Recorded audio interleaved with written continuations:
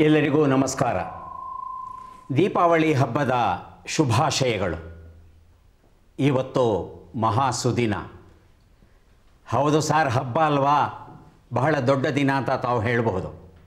ಹಬ್ಬದ ಜೊತೆಗೆ ಮತ್ತೊಂದು ಸಂತೋಷದ ವಿಷಯ. ನಮ್ಮ ನಾಡಿಗೆ ಹಿರಿಯರಾಗಿರ್ತಕ್ಕಂಥ ಓರ್ವ ಮಹನೀಯರು ಇವತ್ತು ನಮ್ಮ ಸ್ಟುಡಿಯೋ ಒಳಗೆ ಬಂದಿದ್ದಾರೆ.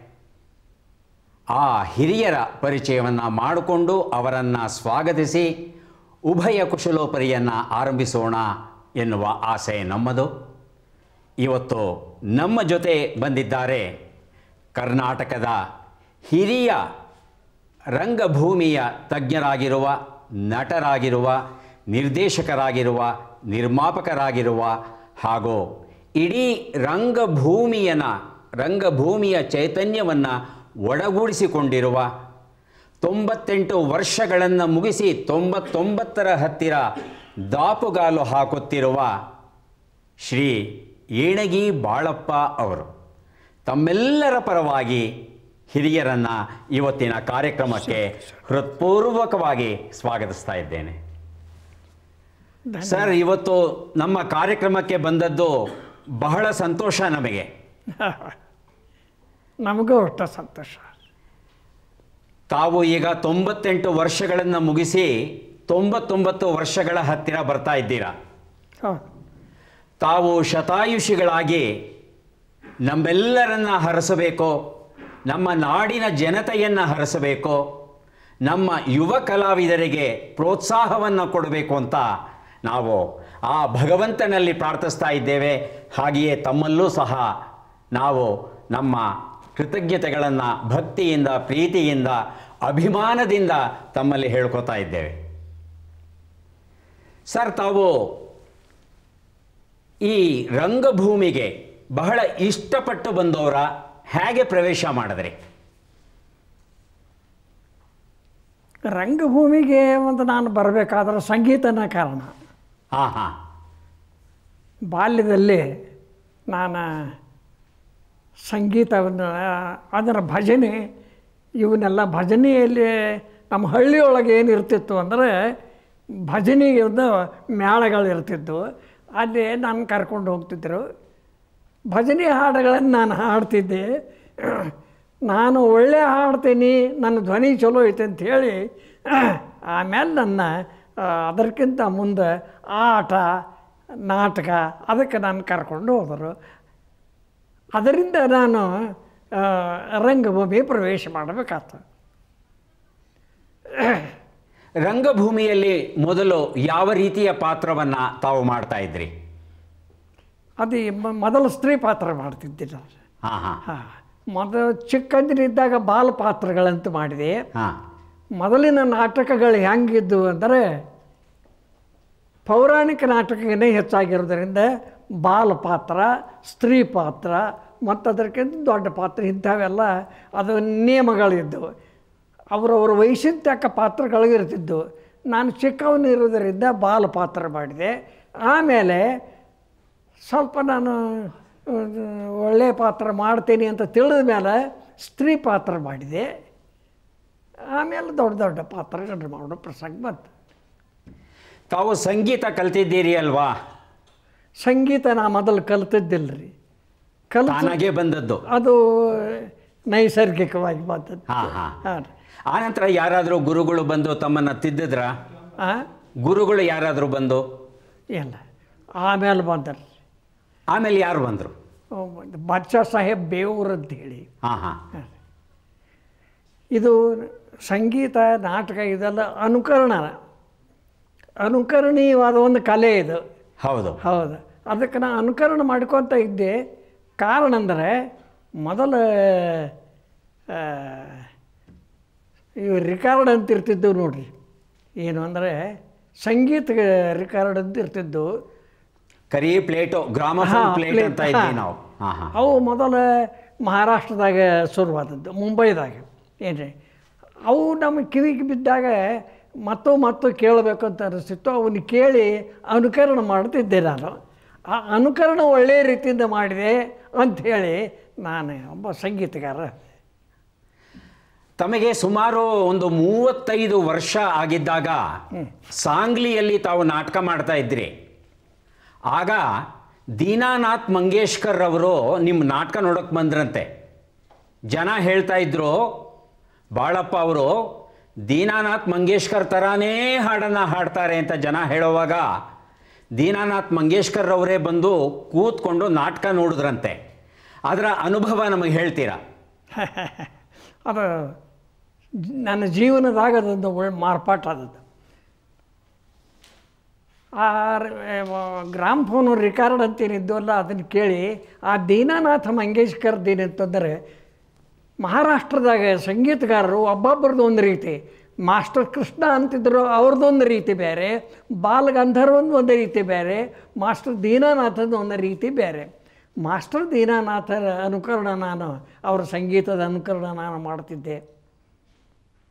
ಅವರು ಹಾಡಿದ ಹಾಡು, ಅದನ್ನು ಕನ್ನಡದಲ್ಲಿ ಮಾಂಡರಾಗದ ನರವರ ಕೃಷ್ಣ ಸಮಾನ ಅಂತ ಒಂದಿತ್ತು. ಅದು ಮರಾಠಿ ನಾಟಕ. ಮರಾಠಿ ಹಾಡು ಕನ್ನಡದಲ್ಲಿ ನಾವು ಸುರವರ ಕೃತ್ಯ ಸಮಾನ ಅಂತ ಐತೆ. ಒಂದು ಎರಡು ಸಾಲ ಹೇಳ್ತೀರಾ? ಹೀಗೆ ಅದನ್ನು ಸಾಮರ್ಥ್ಯ ಉಳಿದಿಲ್ಲ. ದಯಮಾಡಿ ಕ್ಷಮ ಮಾಡಬೇಕು. ಯಾಕಂದ್ರೆ ಆ ಸಾಮರ್ಥ್ಯನೇ ಉಳಿದಿಲ್ಲ. ಸಂಗೀತದಲ್ಲಿ ಅದಕ್ಕೇನು ಬೇಕಂದ್ರೆ ಧ್ವನಿ ಒಂದು ಮುಖ್ಯ ಬೇಕು ಆ ಧ್ವನಿನ ನಂದು ಈಗ ಉಳಿದಿಲ್ಲ. ಅವರು ಅದನ್ನು ಕೇಳಿದ ಮೇಲೆ ಇನ್ನೊಮ್ಮೆ ಹಾಡಪ್ಪ ಅಂತ ಮನಸ್ಸೂರು ಹಾಕಿದರು. ಹಾಕಿದ ಮೇಲೆ ನಾನು ಹಾಡಬೇಕಾತು, ಹಾಡಿದೆ. ಅವರು ಬಹಳ ಸಂತೋಷಪಟ್ಟರು ಒಂದು ಇಂಥದ್ದೊಂದು ಈ- ತಾನೊಂದು ತಗೊಳಪ್ಪ ಅಂಥೇಳಿ ಒಂದು ಅದರೊಳಗೆ ಅವರವರು ಒಂದು ರೀತಿ ಇರ್ತಾವಲ್ಲ, ಅದನ್ನು ಹೇಳಿದ್ರು ಅವರು. ಎಲ್ಲಿ ಒಳಗೆ ಬಂದ, ಇದನ್ನೊಂದು ಹಾಡು ಅಂದರು. ತಾನು ನಾನು ತಗೊಂಡೆ. ಆಗ ಹೇಳಿದರು, ನಾನು ಆಗ ಹಾಡಿದೆ. ಹಾಡಿದ್ದಕ್ಕೆ ಅವ್ರಿಗೆ ಭಾಳ ಸಂತೋಷ ಆಯ್ತು. ಸಂತೋಷ ಆಗಿ ಅವ್ರು ನನಗೇನು ಹೇಳಿದರು ಅಂದರೆ, ಅವರ ಪುಂಡ್ಲಿಕ್ ಅಂತೇಳಿ ಒಂದು ಪಿಕ್ಚರ್ ತೆಗಿತಿದ್ದರು ಸಾಂಗ್ಲಿಯೊಳಗೆ.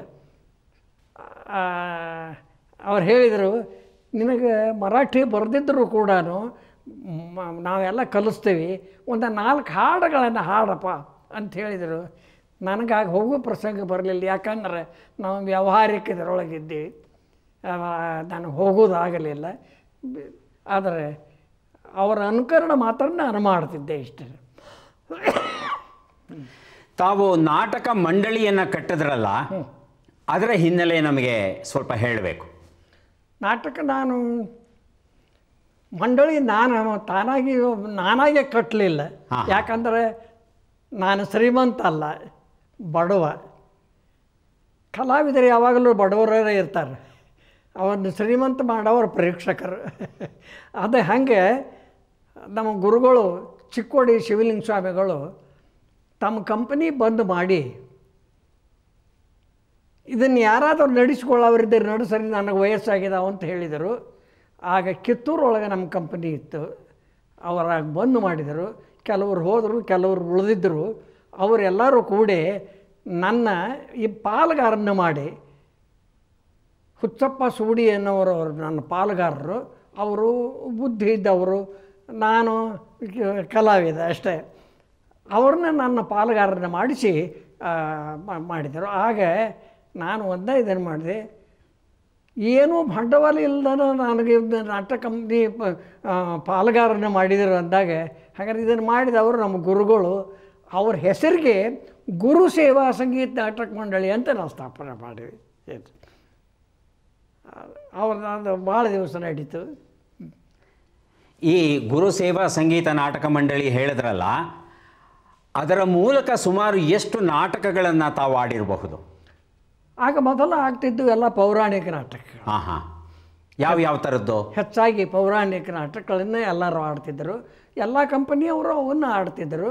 ಹಾಗೆ ನಾನಾಗ ಗುರು ಸೇವಾ ಸಂಗೀತ ನಾಟಕ ಮಾಡಿದೆ ಇನ್ನೇನು ಅಂದರೆ ಅವರು ಬರೆದದ್ದು ಅಸ್ಪೃಶ್ಯತ ನಿವಾರಣೆ ಅಂತ ಒಂದು ದೇಶ ಚಳವಳಿಗೆ ಸಂಬಂಧಪಟ್ಟದ್ದನ್ನು. ಗಾಂಧೀಜಿಯವ್ರನ್ನ ಈ ಜಾತಿವೇದ ಮುನಿಗಳಿಗೆ ಹೋಲಿಸಿ ಅಸ್ಪೃಶ್ಯತಾ ನಿವಾರಣೆ ಅಂತ ಬಸವಣ್ಣನ ನಾಟಕ. ಚರಿತ್ರೆ ಬಸವಣ್ಣದ್ದು ಹೆಸರು ಅಸ್ಪೃಶ್ಯತಾ ನಿವಾರಣೆ. ಹಿಂಗೆ ಅವರೊಂದು ಎಲ್ಲನೂ ಕೂಡಿಸೋದು ನಾಟಕ ಬರೆದಿದ್ದರು ಅದು ಬಹಳ ಯಶಸ್ವಿ ಆತದು. ಈಗ ತಾವು ಸುಮಾರು ಅರವತ್ತೊಂದು ವರ್ಷಗಳ ಕಾಲ ತಾವು ಅಭಿನಯವನ್ನು ಮಾಡಿದ್ದೀರಾ? ರಂಗಭೂಮಿಯ ಮೇಲೆ, ವೇದಿಕೆಯ ಮೇಲೆ ವಿವಿಧ ರೀತಿಯ ಪಾತ್ರಗಳನ್ನು ಮಾಡಿದ್ದೀರಾ? ಸುಮ್ಮನೆ ಒಂದು ಅಂದಾಜು ಲೆಕ್ಕಾಚಾರ ಹಾಕ್ಕೊಂಡ್ರೂ ಸುಮಾರು ಇಪ್ಪತ್ತೈದು ಸಾವಿರಕ್ಕಿಂತಲೂ ಹೆಚ್ಚು ಪ್ರದರ್ಶನಗಳನ್ನು ತಾವು ಕೊಟ್ಟಿದ್ದೀರಾ? ನಾನು ಕಳೆದ ವರ್ಷ ತಮ್ಮ ಅಭಿನಯವನ್ನು ನೋಡಿದೆ. ಇಲ್ಲೇ ಬೆಂಗಳೂರಲ್ಲಿ ಜಗಜ್ಯೋತಿ ಬಸವೇಶ್ವರ ನಾಟಕವನ್ನು ತಾವು ಮಾಡಿದರೆ ಹರಳಯ್ಯನ ಪಾತ್ರವನ್ನು ತಾವು ಮಾಡಿದರೆ ಈ ತೊಂಬತ್ತೆಂಟರ ವಯಸ್ಸಲ್ಲೂ ತಮ್ಮನ್ನು ರಂಗಭೂಮಿಯ ಮೇಲೆ ನೋಡಿ ನಮಗೆ ಬಹಳ ಸಂತೋಷವಾಯಿತು. ಈಗಲೂ ಆ ಪಾತ್ರ ಅಷ್ಟೊಂದು ತಮಗೆ ಇಷ್ಟ ಆಗಿದೆಯಾ? ಆ ಪಾತ್ರದ ಬಗ್ಗೆ ಒಂದೆರಡು ಮಾತಾಡ್ತೀರಾ? ಕಲಾವಿದ ಯಾವಾಗಲೂ ಯಾವ ಪಾತ್ರವನ್ನು ತಾನು ಮಾಡ್ತಾನೋ ಆ ಪಾತ್ರವೇ ತಾನಾಗಬೇಕು. ನನ್ನ ಗುರು ಚಿಕ್ಕೋಡಿ ಶಿವಲಿಂಗ ಸ್ವಾಮಿಗಳು, ಅಂದರೆ ನಾಟ್ಯ ಗುರುಗಳು, ಅವ್ರು ಹೇಳ್ತಿದ್ದರು ಪಾತ್ರವೇ ನೀನಾಗಬೇಕು. ಬಸವಣ್ಣನ ಪಾತ್ರ ನಾನು ಮೊದಲು ಮಾಡ್ತಿದ್ದೆ. ಅವರು, ಬಸವಣ್ಣ, ನೀನು ಆಗಕ್ಕೆ ಸಾಧ್ಯ ಇಲ್ಲ, ಆ ಮಾತು ಬೇರೆ. ಆದರೆ ವೇಷ ಹಾಕಿದ ಮೇಲೆ, ರಂಗಭೂಮಿಗೆ ನಿಂತ ಮೇಲೆ ಬಸವಣ್ಣ ಅಂತ ನೀನು ತಿಳ್ಕೋಬೇಕು. ಬಸವಣ್ಣ ಅಂತ ತಿಳ್ಕೊಂಡು ನೀ ಪಾತ್ರ ಮಾಡಿದರೆ ಒಬ್ಬ ಒಳ್ಳೆಯ ಕಲಾವಿದೆ. ಇಲ್ಲದಿದ್ದರೆ ನೀನು ಬಾಳಪ್ಪಾಗಿ ಪಾತ್ರ ಮಾಡಿದೆ ಅಂದರೆ ಬಾಳಪ್ಪ ಉಳಿತಾನ ಬಸವಣ್ಣ ಸಾಯ್ತಾನ. ಅದಕ್ಕೆ ಬಸವಣ್ಣ ಉಳಿಬೇಕು ಬಾಳಪ್ಪ ಸಾಯಬೇಕು. ರಂಗಭೂಮಿಯ ಮೇಲೆ ಇರೋವರೆಗೂ ಬಾಳಪ್ಪನಿಗೆ. ಬಾಳಪ್ಪ ಸಾಯಬೇಕು ಅದ್ಭುತವಾದ ಕಲ್ಪನೆ. ದೊಡ್ಡ ವೇಷ ಹಾಕ್ಕೊಂಡ್ರೆ ರಂಗಭೂಮಿಗೆ ಬಂದಿವಿ ಅಂದರೆ ನಾವು ನಾವಿಲ್ಲ. ಆ ಪಾತ್ರವೇ ನಾನು. ಹರಳೈನ ಪಾತ್ರವನ್ನು ಯಾವಾಗ ಮಾಡೋಕೆ ಶುರು ಮಾಡಿದ್ರಿ? ಇಲ್ಲಿ ಮಾನ್ಯ ಕಡೆಗೆ ನನ್ನ ಮಗ ನಟರಾಜ ಏಣಿಗೆ ನಟರಾಜ ಅಂತ ನೀವು ಕೇಳಿದಿರಬೇಕು. ಹಾಂ ಕೇಳಿದ್ದೇವೆ. ಅವ ಒಂದು ಏನೋ ನಾಟಕ ಆಡಬೇಕು ಅಂದಾಗ ನಿಂದೊಂದು ಪಾತ್ರ ಬೇಕು ಅಂದ. ಈಗ ಬಸವಣ್ಣನ ಪಾತ್ರ ನೋಡೋ ವಯಸ್ಸು ನಂದಲ್ಲ ನಾನು ಮಾಡೋದಿಲ್ಲ. ಆದರೆ ಯಾವ್ದಾರ ಮತ್ತೊಂದು ಸಾಣದ ಯಾವ್ದಾರ ಮಾಡ್ತಾರಪ್ಪ ಅಂತ ಕೂಡಲೇ ಹರಳೆಯನ್ನು ಪಾತ್ರ ನಾನು ಮಾಡಿದೆ. ಅದು ಭಕ್ತಿರಸ ಪ್ರಧಾನವಾದ ಪಾತ್ರ. ಅಲ್ಲ ಆವತ್ತು ನಾನು ತಾವು ಹಾಡಿದ್ದನ್ನು ಅಭಿನಯಿಸಿದ್ದನ್ನು ಎಲ್ಲವನ್ನು ನೋಡಿದಾಗ ನನಗನ್ನಿಸ್ತು ಈ ಒಂದು ಇಳಿ ವಯಸ್ಸಲ್ಲೇ ಇಷ್ಟು ಅದ್ಭುತವಾಗಿ ಪಾತ್ರ ಮಾಡ್ತಾರಲ್ಲ ಇನ್ನು ಒಳ್ಳೆಯ ವಯಸ್ಸಲ್ಲಿ ಯಾವ ರೀತಿ ಇವರು ಅಭಿನಯವನ್ನು ಮಾಡ್ತಾ ಇದ್ದಿರಬಹುದು ಅಂತ ಕಲ್ಪಿಸ್ಕೊಂಡ್ವಿ. ಆವತ್ತು ರಂಗಭೂಮಿಯಲ್ಲಿ ಯಾರ್ಯಾರು ಇದ್ರೋ ಆವತ್ತು ಎಲ್ಲರೂ ಸಹ ತಮ್ಮನ್ನು ತಮ್ಮ ಅಭಿನಯವನ್ನು ಬಹಳ ಮೆಚ್ಚಿಕೊಂಡ್ರು. ಇನ್ನು ಯಾವ ಯಾವ ರೀತಿಯಾದ ಪಾತ್ರವನ್ನ ಮಾಡಿದ್ದೀರಾ? ಕಿತ್ತೂರು ಚೆನ್ನಮ್ಮ ನಾಟಕವನ್ನ ತಾವು ಮಾಡ್ತಾ ಇದ್ರಿ ಅಂತ ಕೇಳಿದೆ. ಯಾವ ಪಾತ್ರ ಮಾಡ್ತಿದ್ರಿ? ಚೆನ್ನಮ್ಮನ ಪಾತ್ರ ಮಾಡ್ತಿದ್ರಿ ಚೆನ್ನಮ್ಮನ ಪಾತ್ರ ಮಾಡ್ತಾ ಇದ್ರಿ. ಮೊದಲ ಹೆಣ್ಮಕ್ಳು ರಂಗಭೂಮಿಯಲ್ಲಿ ಮೊದಲು ಇದ್ದಿರ್ಲಿಲ್ಲ. ಗಂಡಸರ ಸ್ತ್ರೀ ಪಾತ್ರ ಮಾಡ್ತಿದ್ರು.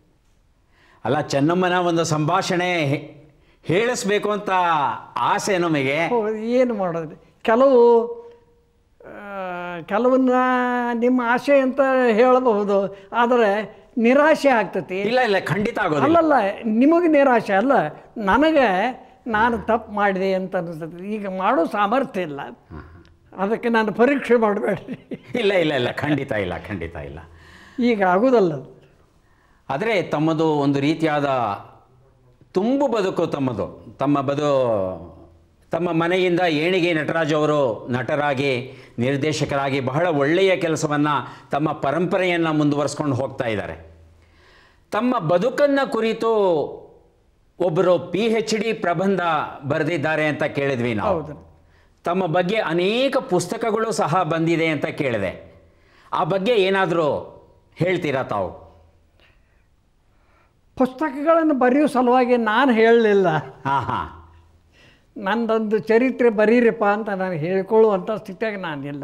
ಆದರೆ ಅವರೇ ಈಗ ನೀವು ಹೆಂಗೆ ಕರೆದು ಈ ದೂರದರ್ಶನದವ್ರು ಹೆಂಗೆ ಕರೆದು ಮಾತಾಡಿಸ್ಬೇಕಂತ ಅನ್ನಿಸ್ತೈತೋ ಹಾಗೆ ನನ್ನ ಬಾಯಿಂದ ಕೇಳಿ ನನ್ನ ಚರಿತ್ರೆಯನ್ನು ಬರಿಬೇಕು ಅಂತ ಅನಿಸ್ತು ಅಂತ ಹೇಳಿ ಅವರು ಅವ್ರು ಕೇಳಿದರು. ನಾನು ಏನು ಹೇಳಿದೆ ನನ್ನ ವಿಷಯಕ್ಕೆ. ಬಹಳ ಒಳ್ಳೆ ಪುಸ್ತಕಗಳು ಬಂದಿದೆ. ಬಣ್ಣದ ಬದುಕಿನ ಚಿನ್ನದ ದಿನಗಳು ಅಂತ. ಗಣೇಶ್ ಅಮೀನ್ಗಡ ಅವರು ಒಂದು ಪುಸ್ತಕವನ್ನ ಬರೆದಿದ್ದಾರೆ. ಬಣ್ಣದ ಬದುಕಿನ ಚಿನ್ನದ ದಿನಗಳು ಈಗ ಬಂದದ್ರಿ. ಹೌದು ಇತ್ತೀಚೆಗೆ ಬಣ್ಣದ ಬದುಕು ಅಂತ ಸುಧಾದಲ್ಲಿ ಮೊದಲ ದೂನಿಂ ಬೆಳಗಲಿ ಅವರು ಬರೆದಿದ್ದರು. ಹೌದು. ಸುಧಾದಲ್ಲಿ ಬಂದಾಗ ನಾವೆಲ್ಲ ಓದಿದ್ದೇವೆ. ನಾವೆಲ್ಲ ಹುಡುಗರಾಗ ಓದಿ ಬಹಳ ಸಂತೋಷ ಪಟ್ಟಿದ್ವು ಹೀಗೂ ಇರಬಹುದಾ ಬದುಕು ಅನ್ನೋದು ನಮಗೆ ಒಂದು ರೀತಿಯಾದ ನಮ್ಮ ಕಲ್ಪನೆಯನ್ನು ವಿಸ್ತರಿಸ್ಕೊಳ್ಳೋದಕ್ಕೆ ಬಹಳ ಅವಕಾಶ ಮಾಡಿಕೊಟ್ಟಿತ್ತು. ಆಮೇಲೆ ಕಲಾವಿದನ ಬದುಕು ಅಂತ ಹೇಳ್ತಂದರೆ ಅದೇನು ಸುಖದ ಸುಪ್ಪತ್ತಿಗೆ ಅಲ್ಲ. ಬಹಳ ಕಷ್ಟಪಡ್ತಾನೆ. ತಾವೇ ಹೇಳಿದ್ರೆ ಕಲಾವಿದ ಅಂದರೆ ನಾನು ಬಹಳ ಬಡವ, ಶ್ರೀಮಂತ ಅಲ್ಲ ಅಂತ. ತಮ್ಮ ಕಷ್ಟದ ದಿನಗಳು ಹೇಗಿದ್ವು, ಅದನ್ನು ಯಾವ ರೀತಿ ಎದುರಿಸಿದರೆ ತಮಗೆ ಧೈರ್ಯ, ಸ್ಥೈರ್ಯ ತುಂಬಿದವರು ಯಾರು? ಆ ಬಗ್ಗೆ ಏನಾದರೂ ಹೇಳ್ತೀರಾ? ಅದು ನನ್ನ ಕಲಾ ಸೇವೆ ಪ್ರಾಮಾಣಿಕವಾಗಿ ಮಾಡೋದು ಒಂದೇ ನ, ಕಲಾವಿದನ ಕೆಲಸ. ಆದರೆ ಅದನ್ನು ಮೆಚ್ಚಿ ಪ್ರೋತ್ಸಾಹನೆ ಕೊಡೋದಾಗಲಿ, ಬೆಳೆಸೋದಾಗಲಿ ಮಾಡೋ ಕೆಲಸ ಪ್ರೇಕ್ಷಕರದ್ದು. ಆ ರೀತಿಯಾಗಿ ನನ್ನ ಸುತ್ತಲ ಏನು ನನ್ನ ಪರಿಸರ ಇತ್ತು, ಕೆಲವು ನನ್ನ ಆತ್ಮೀಯರಂತೆ ಏನಿದ್ದರು ಸಾಹಿತಿಗಳು, ಒಳ್ಳೊಳ್ಳೆ ಸಾಹಿತಿಗಳು ನನ್ನ ಬಗ್ಗೆ ಗೌರವ ಇಟ್ಕೊಂಡಿದ್ದರು ಅಂದರೆ ಅದಕ್ಕೆ ಕಾರಣ ನನ್ನ ಆಚರಣೆ, ನನ್ನ ರೀತಿ ನೀತಿಗಳು ಅಥವಾ ಈ ನಾಟಕದವರಿಗೆ ಕೆಲವೊಂದು ಇರ್ತಾವಲ್ಲ ದೋಷಗಳು, ಆ ದೋಷ ಇಲ್ಲದೇ ಇರೋದು ಅದಕ್ಕಾಗಿ ನನ್ನ ಸಾಹಿತಿಗಳು ಭಾಳ ಪ್ರೀತಿ ಮಾಡ್ತಿದ್ದರು. ಅವರೆಲ್ಲ ಪ್ರೋತ್ಸಾಹನ ಕೊಡ್ತಿದ್ದರು ಅಂಥೇಳಿ ಅದೊಂದು ಮಾಡಿದೆ. ತಮ್ಮ ಬಗ್ಗೆ ನನಗೆ ಬಹಳ ಗೌರವ ಬರೋದಕ್ಕೆ ಬಹಳ ಮುಖ್ಯವಾದ ಕಾರಣ ಅಂದರೆ, ಉತ್ತರ ಕರ್ನಾಟಕದಲ್ಲಿ ಏನಾದರೂ ಪ್ರವಾಹ ಆಯಿತು, ಬರಗಾಲ ಬಂತು ಅಂದರೆ ತಾವು ನಾಟಕಗಳನ್ನು ಆಡಿ ಜನಕ್ಕೆ ಹಣದ ಸಹಾಯ ಮಾಡ್ತಾ ಇದ್ರಿ ತಾವು. ಹಾಗೆ ಬಸವನ ಬಾಗೇವಾಡಿನಲ್ಲಿ ಆ ಬಸವನ ಆಸ್ಥಾನ, ಸ್ಥಾನ ಅವರ ಮನೆ, ಅವರ ದೇವಾಲಯ ಹಾಳಾಗಿದೆ ಅಂತ ಕೇಳಿದಾಗ ತಾವೂ ನಾಟಕವನ್ನು ಆಡಿ ಹಣವನ್ನು ಸಂಗ್ರಹ ಮಾಡಿ ಅದರ ಜೀರ್ಣೋದ್ಧಾರ ಮಾಡಿದ್ರಿ ಅಂತ ನಾನು ಕೇಳಿದೆ. ಈ ಬಗ್ಗೆ ತಮ್ಮ ಅನುಭವ ಏನು? ಯಾಕೆ ಹಾಗನ್ನಿಸ್ತು ತಮಗೆ? ನೋಡ್ರಿ. ರಂಗಭೂಮಿ ಅಂದರೆ ಸಮಾಜದ ಒಂದು ಅಂಗ. ಇದು ಬೇರೆ ಅಲ್ಲ. ಅಂದಾಗ ಸಮಾಜದ ಒಂದು ಅಂಗ ರಂಗಭೂಮಿ ಅಂತಿದ್ದಾಗ ರಂಗಭೂಮಿ ಸೇವಕನಾದ ನಾನು ರಂಗಭೂಮಿಯಿಂದ ಸಮಾಜಕ್ಕೆ ಏನಾದರೂ ಸಲ್ಲಿಸಬೇಕು ಅನ್ನೋ ದೃಷ್ಟಿಯಿಂದ ಕೆಲವು ಕೆಲಸಗಳನ್ನು ಅದನ್ನು ನಾವು ಮಾಡಿರಬೇಕು. ಅಷ್ಟೇ ಹೊರತಾಗಿ ಅದನ್ನು ಮಾಡಬೇಕು ಅಂತ ಮಾಡಿದವಲ್ಲ ಮಾಡೋಕ್ಕೆ ನನ್ನಲ್ಲಿ ಸಾಮರ್ಥ್ಯನೂ ಇರಲಿಲ್ಲ. ಹಾಂ ಹಣ ಇರಲಿಲ್ಲ. ಹಣ ಕೊಟ್ಟವರು ಪ್ರೇಕ್ಷಕರು. ಅದನ್ನು ನಾನು ಸಮಾಜಕ್ಕೆ ಕೆಲವು ಸಾಧ್ಯದಷ್ಟು ಕೆಲವು ಉಪಯೋಗ ಮಾಡ್ತಿದ್ದೆ. ಕರ್ನಾಟಕದಲ್ಲಿ ಕನ್ನಡಕ್ಕೆ ಸ್ಥಾನ ಇಲ್ಲ ಅನ್ನೋವಾಗ ಗೋಕಾಕ್ ಚಳುವಳಿ ರೂಪುಗೊಳ್ತು. ಡಾಕ್ಟರ್ ರಾಜ್ಕುಮಾರ್ ಅವರು ಚಳುವಳಿಗೆ ಧುಮುಕಿದ್ರು. ಆ ನಂತರ ಚಳುವಳಿಗೆ ಕಾವು ಬಂತು. ದಕ್ಷಿಣ ಕರ್ನಾಟಕದಿಂದ ಉತ್ತರ ಕರ್ನಾಟಕ ಇಡೀ ಕರ್ನಾಟಕಕ್ಕೆ ವ್ಯಾಪಿಸ್ತು. ಆಗ ತಾವೂ ಸಹ ಚಳುವಳಿಯಲ್ಲಿ ಧುಮುಕಿದ್ರಿ. ಆಗ ತಮ್ಮ ಅನುಭವ ಹೇಗಿತ್ತು? ಜನ ಹೇಗೆ ಸ್ವೀಕರಿಸಿದ್ರು ತಮ್ಮನ್ನು? ಡಾಕ್ಟರ್ ರಾಜ್ಕುಮಾರ್ ಅವರು ಏನು ಹೇಳಿದ್ರು? ನಮ್ಮ ಜನ ಯಾವ ರೀತಿ ಆಧರಿಸಿದ್ರು? ಆ ನೆನಪುಗಳನ್ನು ದಯವಿಟ್ಟು ಹಂಚಿಕೊಳ್ಳಿ. ಗೋಕಾಕ್ ಚಳವಳಿ ಕರ್ನಾಟಕದಲ್ಲಿ ಎಲ್ಲರಿಗೂ ಅದು ಬೇಕಾಗಿತ್ತು. ಕೆಲವರಿಗೆ, ಕೆಲವರು ಇದನ್ನು ಮಾಡ್ತಿದ್ರು ಇರಲಿ, ಎಲ್ಲರಿಗೂ ಅದು ಬೇಕಾಗಿತ್ತು. ನಾನು ಇದೇ ಈಗ ಹೇಳಿದ ಹಂಗೆ, ರಂಗಭೂಮಿ ಸಮಾಜದ ಒಂದು ಅಂಗ. ಕೇವಲ ರಂಗಿನಿಗಾಗಿ ನಾಟಕ ಅಲ್ಲ, ಕೇವಲ ಜೀವನಕ್ಕಾಗಿ ನಾಟಕ ಅಲ್ಲ ಅದರ ಜೊತೆಗೆ ಸೇವೆ ಮಾಡೋಕ್ಕೂ ನಾನು ನಾಟಕ ಉಪಯೋಗ ಆಗ್ತತಿ ಅನ್ನೋದನ್ನು ನನ್ನ ಗುರುಗಳಿಂದ ನಾನು ಕೇಳಿ ತಿಳ್ಕೊಂಡಿದ್ದೆ.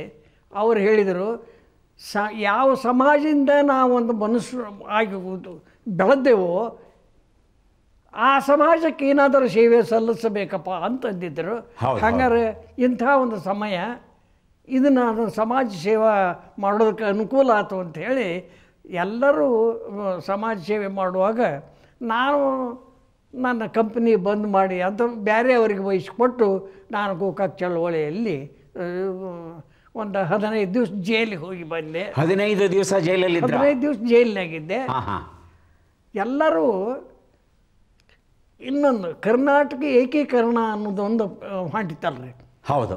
ಕರ್ನಾಟಕ ಏಕೀಕರಣ ಸಮಯದ ಸಂದರ್ಭದಾಗ ಎಲ್ಲರೂ ಭಾಷಣ ಮಾಡಿದರು. ಲೆಕ್ಚರ್ ಕೊಟ್ಟರು ಎಲ್ಲರೂ ಆದರಲ್ಲ ಯಾರು ದೊಡ್ಡವರೆಲ್ಲರೂ. ಆದರೆ ನಾನೇನು ಮಾಡಿದೆ ಅಂತ ಕೇಳಿದರೆ ಕರ್ನಾಟಕ ಏಕೀಕರಣ ಅನ್ನೋದೋ ಒಂದು ನಾಟಕ ಮಾಡಿದೆ. ಆಹಾ ಕರ್ನಾಟಕ ಏಕೀಕರಣ. ಏಕೀಕರಣ. ಏನು ನಾಟಕದ ಹೂರಣ? ಅದು ಕರ್ನಾಟಕ ಏಕೀಕರಣ ಅಂದರೆ ಭಾರತ ಮಾತೆ ಒಬ್ಬ ತಾಯಿ ಮೂರು ಜನ ಮಕ್ಕಳು ಒಬ್ಬರು ಆಂಧ್ರ ದೇಶಕ್ಕೆ ಹೋಗಿರ್ತಾರೆ ಒಬ್ಬರು ಮಹಾರಾಷ್ಟ್ರಕ್ಕೆ ಹೋಗಿರ್ತಾರೆ ಒಬ್ಬ ಕರ್ನಾಟಕದಾಗ ಇರ್ತಾರೆ. ಇದು ಮೂಲ ಕಥೆ. ಆದರೆ ಎಲ್ಲರೂ ಒಂದು ಕಡೆ ಕೂಡ್ತಾರೆ ಒಮ್ಮೆ. ಸ ಒಂದು ಸಂದರ್ಭ ಬಂದಿರ್ತೈತಿ ಕೂಡಿರ್ತಾರೆ ಕೂಡಿದಾಗ ಈ ಜಗಳಗಳು ಶುರುವಾಗ್ತಾವೆ. ಅವ್ರ ಹೆಂಡಂದಿರು ಜಗಳ ಮಾಡೋಕ್ಕೆ ಶುರು ಮಾಡ್ತಾರೆ. ಅವ್ರು ತಮ್ಮ ಭಾಷೆ ಮಾತಾಡ್ತಾರೋ ಇವ್ರು ತಮ್ಮ ಭಾಷೆ ಮಾತಾಡ್ತಾರೋ. ಆದ್ರೆ ಮನೆ ಯಜಮಾನತಿ ತಾಯಿ ಇರ್ತಾಳಲ್ಲ ಅದು ಆಕೆ ಭಾರತ ಮಾತೆ ಅಂತ. ನೀವು ಹಿಂಗೆಲ್ಲ ಜಗಳಾಡಬೇಡ್ರಿ. ಬರೀ ಜಗಳಾಡೋದ್ರಿಂದ ಏನಾಗೋದಲ್ಲ. ಎಲ್ಲರೂ ಕೂಡ್ರಿ. ಇಲ್ಲಿರೋ ತನಕ ನೀವು ಎಲ್ಲರೂ ನಿಮ್ಮ ನೀವು ಅದನ್ನೆಲ್ಲನೂ ಮರೀರಿ. ಈ ಭಾಷೆನ ಮಾತಾಡ್ರಿ ಅಂತ ಆಕೆ ಭಾರತ ಮಾತೆ ಕೊನೆ ಸಂದೇಶ ಕೊಡ್ತಾಳೆ. ಆ ಮನಿ ಯಜಮಾನ್ತಿ.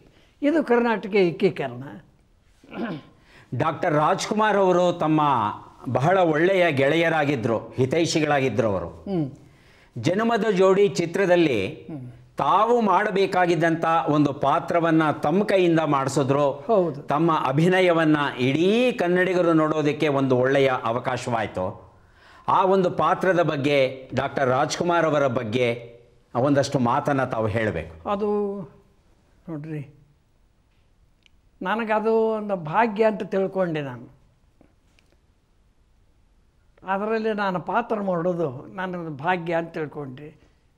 ರಾಜ್ಕುಮಾರ್ ನನಗೆ ಏನೋ ಒಂದು ಸ್ನೇಹ ಇತ್ತು ಅಷ್ಟೇ. ಸ್ನೇಹ ಅಂದ್ರೆ ಬ ಒಡನಾಟ ಇಲ್ಲ ಆದರೆ ಅವ್ರ ಬಗ್ಗೆ ನಾನು ಕೇಳ್ತಿದ್ದೆ ನನ್ನ ಬಗ್ಗೆ ಅವರು ಕೇಳಿದ್ದರು. ನಾನು ಬಸವಣ್ಣನ ಪಾತ್ರಕ್ಕೆ ಮೆಚ್ಚಿದ್ರು ಅವರು. ಅದಕ್ಕೆ ಅವ್ರು ನನ್ನ ರಂಗಭೂಮಿಯಾಗಿದ್ದವನ್ನ ಈ ಈಚೆ ಕ್ಷೇತ್ರಕ್ಕೂ ತರಬೇಕಂತ ಹೇಳಿ ಅವರು ಅಪೇಕ್ಷೆ ಮಾಡಿದರೆ ಕಾಣ್ತೈತಿ. ನನ್ನ ತಂದರು, ನಾನು ಮಾಡೋ ಪಾತ್ರದು ನೀವು ಮಾಡ್ರಿ ಅಂತ ನನಗೆ ಹೇಳಿದರು. ಮಾಡ್ತೀನಿ ಅಂತ ಹೇಳಿದೆ. ನೀವು ಹೇಳಿದ್ರೆ ನಾನು ಮಾಡ್ತೀನಿ ಅಂದೆ. ಆ ಪಾತ್ರ ನನಗೆ ಮಾಡೋ ಪ್ರಸಂಗ ಬಂತು. ನನಗೂ ಸಮಾಧಾನ ತಂದು ಕೊಟ್ಟಿತ್ತು ಹೌದ್ರಿ ಹೌದು ತಮ್ಮ ಸುದೀರ್ಘ ಅನುಭವವನ್ನು ನೋಡ್ತು ಅಂದರೆ ನಮ್ಮ ಕನ್ನಡ ಚಿತ್ರರಂಗ ಇನ್ನೂ ಒಳ್ಳೆ ಪಾತ್ರಗಳನ್ನು ತಮ್ಮಿಂದ ಮಾಡಿಸಬಹುದಾಗಿತ್ತು. ಮಾಡಿ ಮಡಿದವರು ಬಸವರಾಜ ಕಟ್ಟಿಮನಿಯವರ ಕಾದಂಬರಿಯಲ್ಲಿ ಬಸವರಾಜ ಕಟ್ಟಿಮನಿಯವರ ಕಾದಂಬರಿ. ಹೌದು ಹೌದು. ಶಂಕರಪ್ಪನವರು ನಿರ್ದೇಶನ ಮಾಡಿದ್ರು. ಹೌದು. ಹಾಂ ಅದರಲ್ಲಿ ಅಭಿನಯ ಮಾಡಿದ್ರಿ ತಾವು. ಹೌದ್ರಿ ಆ ನಂತರ ತಾವು ಮಾಡಿದಂತಹ ಪಾತ್ರ ಯಾವುದು? ಯಾವ ಚಿತ್ರದಲ್ಲಿ ಮಾಡಿದ್ರಿ? ಒಬ್ಬ ಮಾಸ್ತರ್ನ ಪಾತ್ರ ಅದು. ಹಾಂ ಹಾಂ. ಹಾಂ ಕನ್ನಡ ಶಾಲೆ ಮಾಸ್ತರ್ ದೇಶಕ್ಕಾಗಿ ಸಮಾಜಕ್ಕಾಗಿ ಏನು ಮಾಡಬೇಕು ಜನರು ಯಾವ ರೀತಿ ತಯಾರು ಮಾಡಬೇಕು ಅಂಥೇಳಿ ಮಾಸ್ತರ್ ಅದು ಪಾತ್ರ ಐತೆ ಅದು. ಆ ಪಾತ್ರ ನನ್ನಿಂದ ಮಾಡ್ಸಿರೋದು. ಬಸವರಾಜ ಕಟ್ಟಿಮನಿಯವರ ಇದು. ಆಮೇಲೆ ತಾವು ಗಾನಯೋಗಿ ಪಂಚಾಕ್ಷರಿ ಗಾನಯೋಗಿ ಪಂಚಾಕ್ಷರಿ ಚಿತ್ರದಲ್ಲೂ ಅಭಿನಯಿಸಿದ್ರಿ. ಮಾಡಿದ್ದೇನೆ. ಹಾಂ ಹಾಂ ಇತ್ತೀಚೆಗೆ ಕಳೆದ ವರ್ಷ ನನಗಂತೂ ಬಹಳ ಆಶ್ಚರ್ಯವಾಯಿತು. ತೊಂಬತ್ತೆಂಟು ವರ್ಷದಲ್ಲಿ ತಾವು ಒಂದು ಚಲನಚಿತ್ರದಲ್ಲಿ ಅಭಿನಯಿಸಿದಿರಿ ಪರೀಕ್ಷೆ ಅಂತ. ಏನು ಆ ಚಿತ್ರದ ಕತೆ? ಪರೀಕ್ಷೆ ಅದು ನಮ್ಮ ಸಮಾಜದಲ್ಲಿ ಏನು ಮೇಲು ಕೀಳು ಅನ್ನೋದು. ಅದನ್ನು ದೂರ ಮಾಡೋದಕ್ಕೆ ಕೀಳು ಜನರದ್ದು ಅನ್ನೋದನ್ನು ಅದನ್ನು ತೆಗೆದು ಸಮಾನತೆ ತೋರಿಸೋದ್ರ ಸಲುವಾಗಿ ಪರೀಕ್ಷೆ ಅಂತ ಮಾಡ್ತದೆ. ಒಬ್ಬರು ತಮ್ಮ ಸ್ವಾರ್ಥಕ್ಕಾಗಿ ಅದು ಅವ್ರ ಒಬ್ಬ ಹೆಣ್ಮಗಳ ಮೇಲೆ ದೋಷ ಹೊರಿಸಿ, ಆಕೆ ತನ್ನ ವಶ ಆಗಲಿಲ್ಲ ಅನ್ನೋ ದೃಷ್ಟಿಯಿಂದ ಆಕೆ ಮೇಲೆ ದೋಷ ಹೊರಿಸಿ, ಆಕೆಗೆ ಒಂದು ಇಂಥದ್ದೊಂದು ಅಪರಾಧ ಐತಿ, ಆಕೆಗೆ ಏಡ್ಸ್ ಐತಿ, ಇದನ್ನು ಸುಳ್ಳು ಹೇಳಿ ಈ ತನ್ನ ಸ್ವಾರ್ಥ ಸಾಧಿಸ್ಕೋಬೇಕಂತಾನ.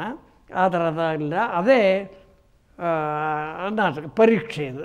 ಪರೀಕ್ಷೆ ಮಾಡಿದ್ದು ಮ್ಯಾಲಿನವ್ರು ಬರ್ತಾರೆ, ಪರೀಕ್ಷೆ ಮಾಡ್ತಾರೆ, ಇವು ಸುಳ್ಳು ಸರ್ಟಿಫಿಕೇಟ್ ಕೊಟ್ಟಾನ ಅಂತ ಹೇಳ್ತಾರೆ.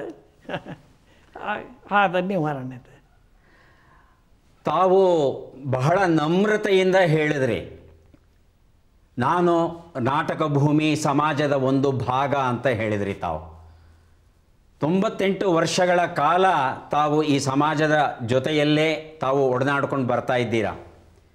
ತಮ್ಮ ಪಾಡಿಗೆ ತಾವು ಕೆಲಸ ಮಾಡ್ಕೊಂಡು ಹೋದ್ರಿ ತಮ್ಮ ಗುರುಗಳು ಹೇಳಿದ್ರು ಅಭಿನಯಿಸುವಂತ ತಾವು ಅಭಿನಯಿಸ್ಕೊಂಡು ಬಂದ್ರಿ. ಆದರೆ ತಮ್ಮ ಅಭಿನಯ ಶ್ರೀಮಂತಿಕೆಯನ್ನು ಜನಕ್ಕೆ ತಾವು ನಾಟಕದ ಮೂಲಕ ನೀಡಿದಂತಹ ಸಂದೇಶವನ್ನು ಇದೆಲ್ಲವನ್ನು ಗಮನಿಸಿದಂತಹ ಜನ ತಮ್ಮನ್ನು ಬಹಳ ಪ್ರೀತಿಯಿಂದ ಕಂಡಿದ್ದಾರೆ. ನನಗೆ ಬಹಳ ಸಂತೋಷ ಆದದ್ದು ಪೂನಾದಿಂದ ತಮಗೆ ಅಮೋಲ್ ಪಾಲೇಕರ್ ಅವರು ಕರೆಸಿದ್ರು. ಅಮೋಲ್ ಪಾಲೇಕರ್. ಹೌದು. ಹಿಂದಿ ಚಿತ್ರರಂಗ ನ ಮತ್ತು ನಾಟಕ ರಂಗದ ಅದ್ಭುತ ನಟ ಮತ್ತು ನಿರ್ದೇಶಕ ತಮ್ಮನ್ನು ಕರೆಸಿದ್ರು. ಬಿ ಜಯಶ್ರೀ ಅವರನ್ನು ಕರೆಸಿದ್ರು. ಗಂಗೂಬಾಯಿ ಹಾನಗಲ್ ಅವರನ್ನು ಕರೆಸಿದ್ರು. ತಮ್ಮೆಲ್ಲರಿಗೂ ಬಹಳ ಅದ್ಧೂರಿಯಾಗಿ ಸನ್ಮಾನವನ್ನ ಮಾಡಿದ್ರು ಅಂತ ಕೇಳಿದೆ ನಾನು. ಹೌದು. ಆ ಬಗ್ಗೆ ತಮ್ಮ ನೆನಪುಗಳು ಏನಿದೆ ಅಂತ ದಯವಿಟ್ಟು ಹಂಚಿಕೊಳ್ಳ. ಹಂಚಿಕೊಳ್ಳಿ ಅಮೂಲ್ ಪಾಲೇಕರ್ ಒಬ್ಬರು ದೊಡ್ಡ ಒಳ್ಳೆಯ ಕಲಾವಿದ. ಆದರೆ ಅವರು ಒಂದು ಇಂಥ ಕೆಲಸ ಮಾಡಿದರು. ಎಲ್ಲೆಲ್ಲಿ ಒಳ್ಳೊಳ್ಳೆಯ ಕಲಾವಿದರು ಇರ್ತಾರೋ ಅವ್ರ ಪರಿಚಯ ಒಂದೊಂದು ರೀತಿಯಿಂದ ಮಾಡಿಕೊಡ್ಬೇಕು ಅನ್ನೋ ದೃಷ್ಟಿಯಿಂದ ಅಥವಾ ಅವರ ಉದ್ದೇಶ ಏನೈತಿ ಅಥವಾ ಅವರ ಜೀವನ ಏನೇನೈತಿ ಇದನ್ನು ಮಂದಿಗೆ ತಿಳಿಸ್ಬೇಕು ಅನ್ನೋ ದೃಷ್ಟಿಯಿಂದ ಅದು ಒಂದು ದೊಡ್ಡ ಭಾವನೆ ಅವ್ರದ್ದು. ಅಮೋಲ್ ಪಾಲೇಕರ್ ನಮ್ಮನ್ನೆಲ್ಲ ಕರೆಸಿ ಕನ್ನಡ ಭಾಷೆ, ಕನ್ನಡದ ಸಂಗೀತ ಮತ್ತು ಮರಾಠಿ ಸಂಗೀತ.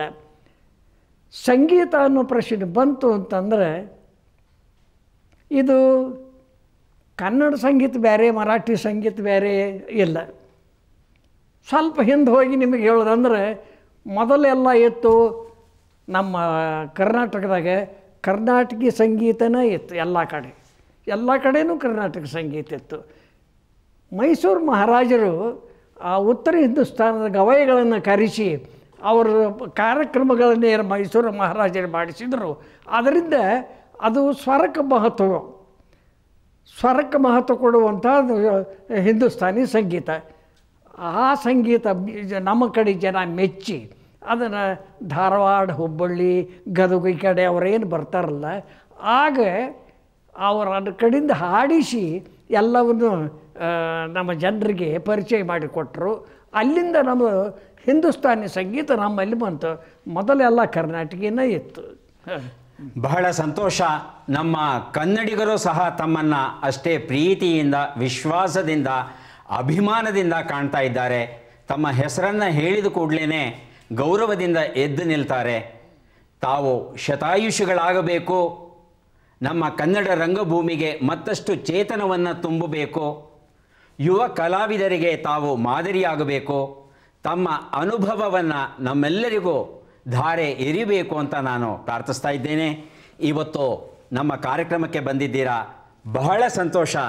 ನಮ್ಮ ಕೃತಜ್ಞತೆಯನ್ನು ಈ ಒಂದು ಪುಸ್ತಕವನ್ನು ಕೊಡೋದ್ರ ಮೂಲಕ ವ್ಯಕ್ತಪಡಿಸ್ತಾ ಇದ್ದೇವೆ. ದಯವಿಟ್ಟು ಪುಸ್ತಕವನ್ನು ಸ್ವೀಕರಿಸಿ, ನಮ್ಮನ್ನು ಆಶೀರ್ವಾದ ಮಾಡಿ. ಶಿವ ಆಶೀರ್ವಾದ ಮಾಡೋ ಯೋಗ್ಯತೆ ಏನಂದಿರಲಿಲ್ಲ. ನಮ್ಮ ನಾಟಕದೊಳಗೆ ಒಂದು ಮಾತದ ಏನಂದರೆ, ಆಶೀರ್ವಾದ ಮಾಡಬೇಕಾದರೂ ಸಾಮರ್ಥ್ಯ ಬೇಕಾಕತ್ತೆ ಅಂದರೆ. ಆ ಸಾಮರ್ಥ್ಯ ನನಗೆಲ್ಲ. ಆ ಸಾಮರ್ಥ್ಯ ಖಂಡಿತ ನಿಮಗಿದೆ. ಆ ನಂಬಿಕೆ ನಮ್ಮ ವೀಕ್ಷಕರಿಗೂ ಇದೆ. ತಾವು ಇಲ್ಲಿಗೆ ಬಂದು ಇಷ್ಟೊತ್ತು ನಮ್ಮ ಜೊತೆ ತಮ್ಮ ಅಮೂಲ್ಯ ಸಮಯವನ್ನು ಕಳೆದಿದ್ದೀರಾ? ತಮಗೆ ಕೃತಜ್ಞತೆಗಳನ್ನು ವ್ಯಕ್ತಪಡಿಸ್ತಾ ಇದ್ದೇವೆ. ನಮಸ್ಕಾರ. ಶರಣ ಶರಣಾರ್ಥಿ.